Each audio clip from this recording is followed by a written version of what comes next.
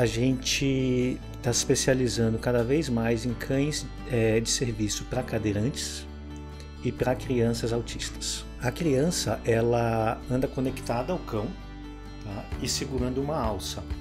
E uma das coisas, das principais coisas que a gente treina é fuga. E como que a gente faz isso? No momento que a criança solta a alça e corre, o cão deita, a criança percebe que ela não consegue para lugar algum sem o cão. Só que a gente precisa ter certeza absoluta de que esse cão vai ancorar. Porque boa parte dos locais que, essa, que, que vai estar acontecendo é na rua.